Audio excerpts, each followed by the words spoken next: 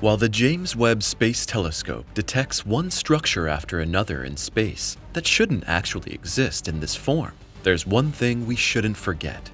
Our Earth also has the seemingly impossible in store. For example, researchers have recently identified anomalies in the Earth's mantle that look like submerged tectonic plates. The problem, however, is that this simply cannot be the case. After all, the strange formations are located far away from any plate boundaries. So how is this possible? What explanation do the experts have for this confusing discovery? And could there really be an impossible sunken world hidden deep below the Pacific Ocean? Our blue home planet never takes a break when it comes to plate tectonics. Driven by convection currents in the Earth's outer mantle, our planet's tectonic plates are constantly drifting away from each other, moving towards each other, colliding, or rubbing against each other. But how do we actually get to the bottom of the background to these spectacles that are constantly unfolding beneath our feet? Well, in this regard, geologists have a colleague who answers to the name of earthquake. More precisely, this refers to the seismic waves that can be analyzed with the help of seismographs, thus providing insights into the inner structure of the planet. But if you like, the proverbial ultrasound of the Earth was limited for a long time. Because in fact, experts relied on only one type of earthquake wave for this purpose for a long time. However, thanks to the research team led by Thomas Schouten from the Swiss Federal Institute of Technology in Zurich, this situation is now finally a thing of the past. In contrast to previous methods, the scientists used what is known as full waveform inversion for the first time which, in plain language, means that all types of seismic waves were taken into account. The gigantic data sets that resulted from this were then evaluated with the help of a supercomputer. And the model that was created on the basis of this should reveal something that immediately caused huge confusion among the ranks of researchers. As briefly mentioned at the beginning, the experts saw areas in the Earth's interior that look like the remnants of sunken tectonic plates. Among the largest of these special finds is a region that lies between 900 and 1200 kilometers below the western Pacific Ocean. A series of smaller, vertically aligned areas should also be identified at a comparable depth west of South America. The small but crucial problem here, however, is the fact that the ominous submerged plates are located in places where, according to our current assumptions, they should not actually exist. Specifically, the position under large seas and in the interior of continents is much too far from the plate boundaries we know of, which makes it difficult, to say the least, to explain how the tectonic plates should have submerged there in the recent geological past, among others. So what about the mysterious sunken worlds in this context? Or is it possible that these are ultimately completely different structures? The search for explanations. Well, in both cases the answer is we have no idea. In this regard, Thomas Schouten's team openly admits that their new model has uncovered such anomalies throughout the Earth's mantle, but in the same breath, they don't know what kind of structures we are dealing with here. In reference to their new measurement method, the experts use the example of a doctor who has been examining his patient's blood circulation for decades with an ultrasound device. But as soon as the doctor is given a newer, significantly better instrument, he suddenly discovers an artery that doesn't belong in that part of the body at all. Or, in the case of patient Earth, a series of confusing structures in the planet's mantle that have left experts scratching their heads. Consequently, scientists can only speculate about their discovery at present. One approach is based on the assumption that the anomalies are not so-called subduction zones.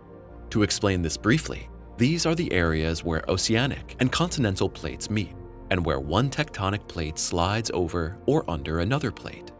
Instead, we could be dealing with much older relics here, for example, with very old silicate-rich material that has been there since the formation of the Earth's mantle around 4 billion years ago and has been preserved to this day despite all convection movements. Alternatively, however, it could also be regions in which iron-rich rock accumulates over billions of years as a result of mantle movements.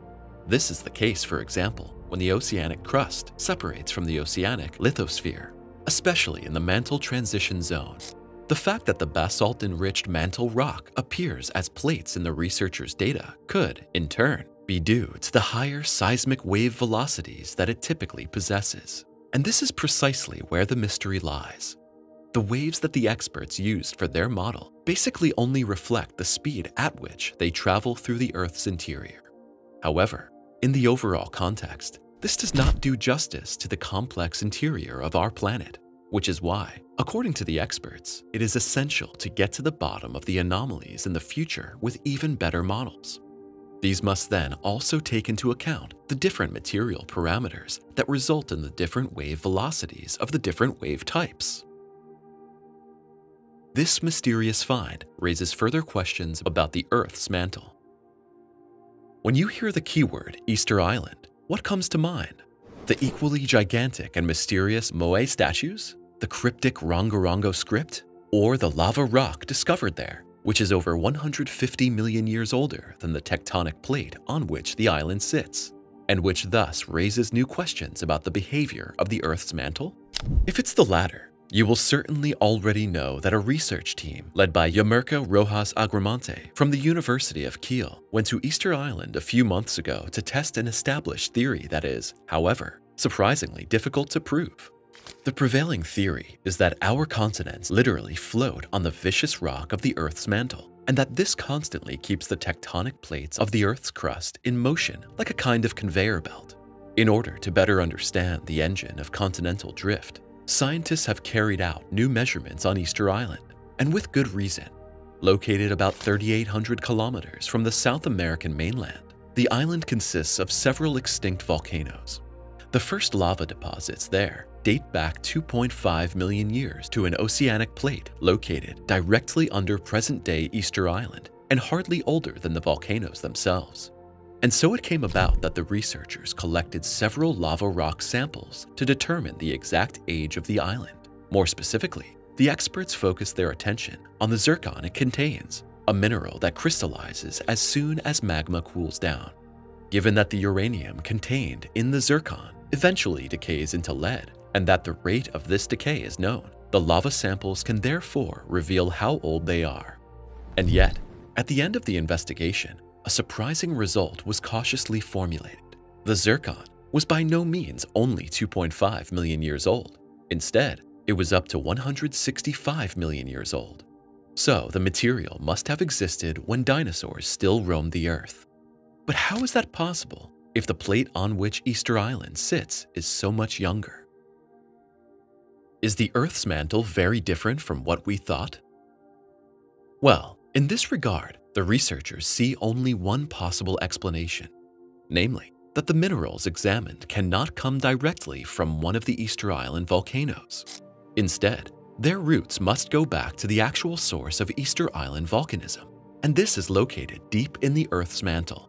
In fact, the corresponding structures are hotspot volcanoes, fire mountains that are created when magma rises through weak spots in the Earth's mantle. The columns of magma that melt their way up hundreds of kilometers are also known as mantle plumes. And although this approach may seem plausible at first glance, on closer inspection it raises more questions than it answers. Although mantle plumes are fundamentally anything but short-lived, 165 million years of continuous activity seems unusual, even for them. And to get to the bottom of this mystery, the researchers had no choice but to go back in time. In other words, they reconstructed the tectonic plates that must have been above the plume at that time. The bottom line was the realization that 165 million years ago, there was a volcanic plateau at the site of Easter Island, which drifted away 55 million years later and disappeared under the Antarctic Peninsula. Coincidentally, this happened exactly during the period when the phase of crustal deformation and mountain building began, which is still poorly understood today. But what is even more important is the fact that the Easter Island mantle plume could actually have been active for 165 million years, according to the reconstruction. Unfortunately, and this is the catch, this explanation simply does not match the conventional conveyor belt idea of the Earth's mantle. After all, this would have meant that the mantle plume was not carried along by the mantle conveyor belt, but remained almost in the same place the whole time. According to the experts, This means that the analyzed minerals could only have been preserved if the mantle surrounding the plume is also immobile. In other words, the mantle would have to behave completely differently and move significantly more slowly than previously thought. And if the evidence for this is confirmed by future research, we could be in for a geological paradigm shift.